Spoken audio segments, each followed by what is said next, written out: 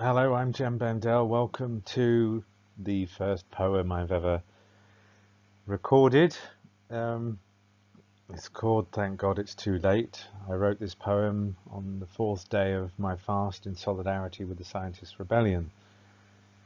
And um, I've just used PowerPoint, um, so apologies for the basic uh, visuals and I don't know how good the sound will be but I want to get it out uh, today on the fourth day of Scientist Rebellion. I know it's too late for reform, and too late for this or that norm, too late for over-consuming, and too late for subsuming all that we are, for such dead-end roles that deaden our souls. Oh boy, but it's not too late to love. I know it's too late for believing in fairy tales of salvation, and likely too late for millions who will suffer starvation. So no, it will never be too late to love. I know this day it's already too late for yet another 200. Exterminate. Yeah, that's a word. The reality far worse than what could ever be heard. Oh, it's way too late for their fears to repress the rest of us. We who know that it's too late for avoiding grief or fear or rage. It's too late for bottling up. Pop the cork, smash the bottle. Only then the light gets in. It's too late for elite panic to wreak havoc on our mutual aid. It's too late for dream machines and the schemes of techno kings. It's too late to not see sickness coming from our poor stories of life. It's too late for magic bullets being shot into arms. And it's too late for Bill Gates buying up all of those farms. Yes, I know it's too late for so, so much.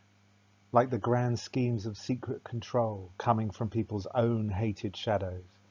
It was always too late for anyone to lead who hadn't sat in circle and sob deeply from their wounds. But for anyone, like them, it will never be too late to do the right thing.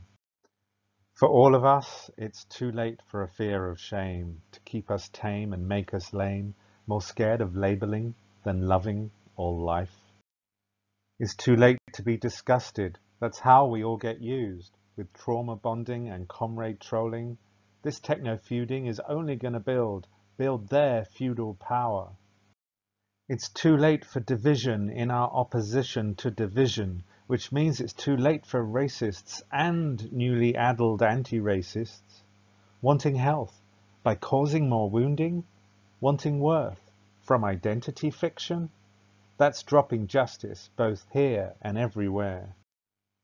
May I, may I remember to love myself for allowing the confusion when wanting to truly know, to love myself for falling into separation when wanting to safely grow, a petal, a thorn, on a creaking tree of life.